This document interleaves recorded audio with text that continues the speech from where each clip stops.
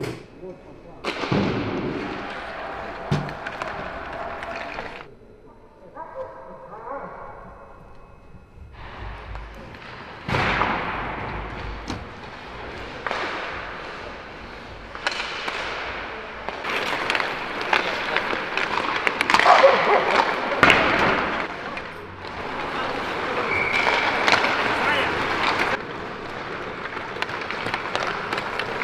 Уже обсудили это, то, что каждая игра будет за 4 очка, и посмотреть, если на таблицу, все они рядом, кто-то выше, кто-то ниже, так что нужно выкладываться на 100% больше, чем в любых других играх. У них хорошая команда, вот, играют хорошо, все получается у них пока.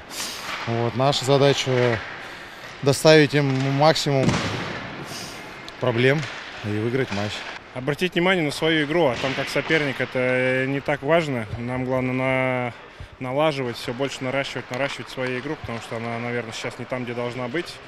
Но мы идем, работаем каждый день над этим, так что стараемся сделать так, чтобы все было хорошо. Стараемся заострить внимание более на позитивных каких-то моментах, работаем над своей системой, в принципе, не, не углубляясь, скажем, в какие-то там поражения и все остальное. Просто работаем, идем дальше.